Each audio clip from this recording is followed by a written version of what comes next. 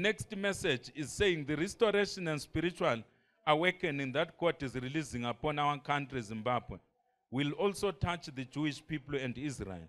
The pure spirit of worship, which will go out from Zimbabwe to God in heaven, will be like the sound of a shofar.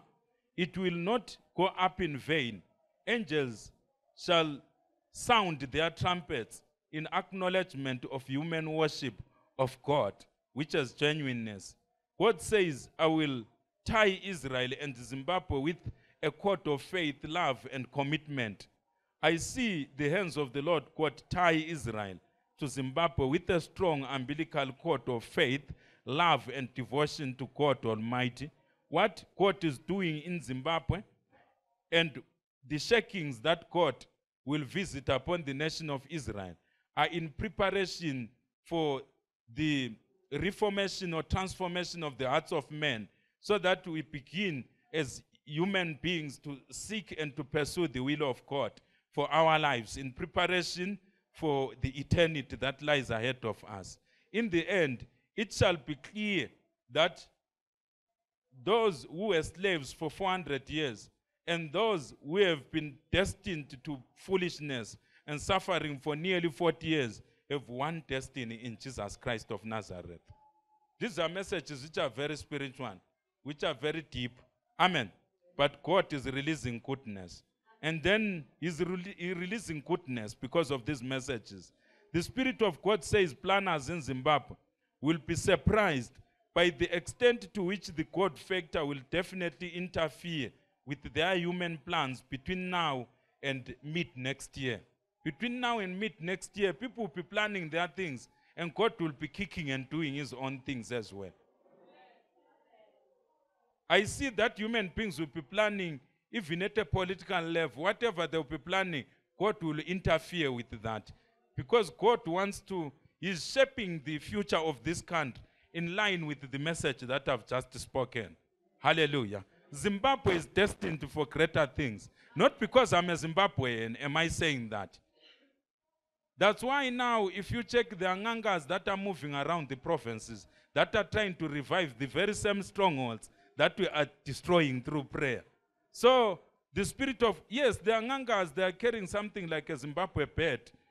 I mean, these Ngangas, they are doing rituals, they move around provinces, doing, trying to revive demonic strongholds, which we are bringing down. So, the Spirit of God is saying, is saying, I must invite intercessors in all the provinces of this country to pull down and destroy those strongholds that they are trying to revive. Because these are the strongholds that are responsible for all of this stagnation and suffering that you have seen in the past nearly 40 years. But the Spirit of God is saying, I am doing a quick work of my deliverance in Zimbabwe. Hallelujah. So God will disturb human plans. Human beings will plan whatever they want to plan. They can gather in their thousands, but it is the plan of God which will prevail. Men, men plans, but God is God who disposes. Hallelujah. Let us confess and say, men plans, but God disposes. Yes. For, for it to be seen that all nations are nations under God, and they are nations which belong to God. Say, I belong to God.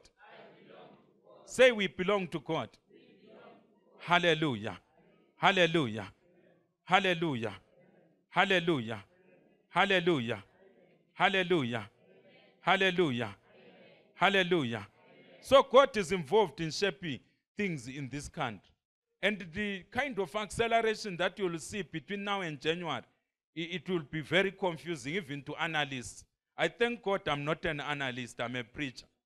I'm an analyst in another sphere, but I don't analyze politics. Because the politics of this country will be very confusing very soon. Why? Because of the God factor. Say the God factor. Say the God factor. Because sometimes as human beings, we plan as if God does not exist. That's why our things sometimes they, they fail. But uh, because God is interested and we are nearing the climax of the history of this country, as we have known it, and because we are nearing that climax, I see a lot of confusing things which will be ha- happening parallel to each other. And then there is a, a strong voice that has been speaking upon our country for quite some time. Yes, a strong voice. Say a strong voice. Say a strong voice.